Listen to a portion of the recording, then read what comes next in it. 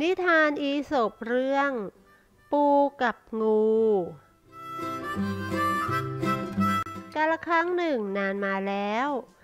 ปูกับงูเป็นเพื่อนกันมานาน ปูมีนิสัยซื่อตรงไม่เคยทรยศงูเลย แต่งูกลับมีนิสัยคดโกง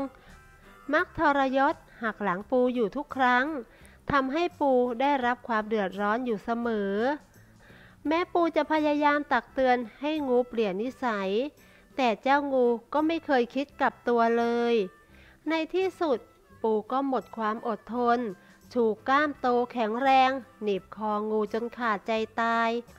แล้วปูก็พูดว่า ถ้าเจ้ามีความซื่อตรงเหมือนเจ้าตัวที่นอนนิ่งๆ เหยียดยาวอยู่อย่างนี้ เจ้าคงไม่พบจุดจบเช่นนี้หรอก นิทานเรื่องนี้สอนให้รู้ว่า แม้ความตายก็ไม่อาจทำให้ผู้คดโกงกลับตัวได้